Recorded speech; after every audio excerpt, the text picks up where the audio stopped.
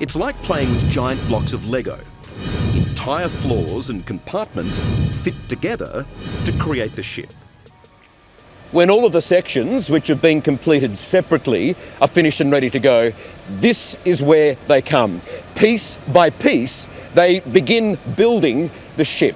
It is an unbelievable process, and the scale, just have a look at it. It is mind boggling.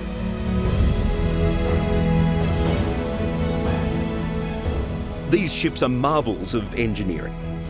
Three mega vessels are underway in here right now. And floating outside is the shipyard's latest pride and joy.